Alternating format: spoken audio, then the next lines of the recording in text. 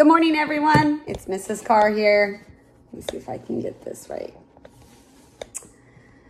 This book I have been reading now for over 20 some years, if you can tell. It is almost on its last leg.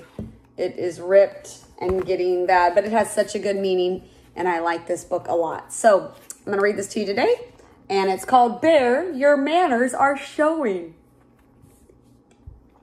It's an old book. Bear, your manners are showing. And it is written by Kathleen Meyer and illustrated by Creative Studios.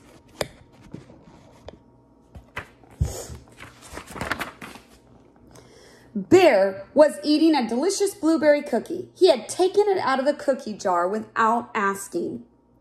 Goodness gracious, little bear, said his mother, where have your manners gone? Bear stopped munching. He turned around to look for his manners. I don't see them in back of me, he answered. Manners aren't in back of you, said Mother Bear. They are in your heart. I'll have to do something to help you remember them. So she went to her desk. When she came back, Mother Bear had a purple ink pad and four little stamps. One at a time, she stamped them on a piece of paper. Please. This one says please. When you want something, you say the magic words, please. This one says thank you. When someone gives you something, you always say thank you. This one says I'm sorry. When you do something that you shouldn't, you say, I'm sorry. And this last one says, excuse me. When someone is in your way, you don't push them. You find the magic words, excuse me.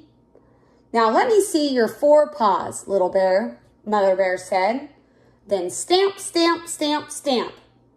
And there were little bear's manners on his four little paws. Now off to school with you, Mother Bear said, but first she gave him a big bear hug. In nursery school, Little Bear saw two friends playing with a lovely lump of red clay. I want some of that, he said to them, and he reached over to grab Teddy's piece. No, you can't have it, Teddy yelled. As Little Bear raised his paw, he saw the magic word stamped on it. Please? Please, he said softly, and Teddy put a big lump of red clay in Little Bear's paw. I think something comes next, Little Bear said, scratching his head. What were those words? Then he looked at his other paw. There were the two words he needed. Thank you. Thank you, Teddy, he said. His friend smiled. Then Teddy handed an extra piece of red clay to Bear. Mother Bear was right, Little Bear said to himself. These really are magic words. After he had finished at the clay table, Bear ran over to the jungle gym. On the way, he bumped into Bill Bear and knocked himself down. Little Bear fell right on top of him. Bill Bear cried and rubbed the bump on his head. Then Little Bear raised his head and saw the stamp printed on the bottom of his paw. I'm sorry, it said.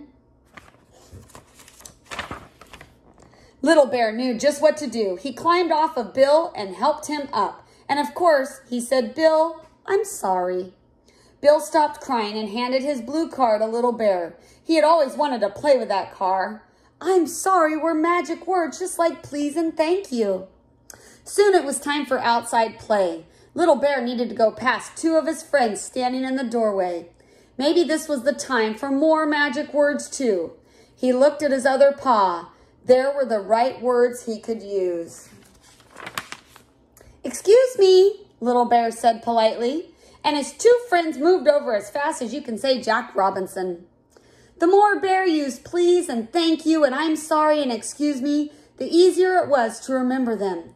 After a while, he didn't need to look at his paws anymore. And when the winter rains came and washed the magic words off of his four little paws, Little Bear wasn't upset one bit, for by this time they were in his heart, just like Mother Bear had said. The end. Bye, kids.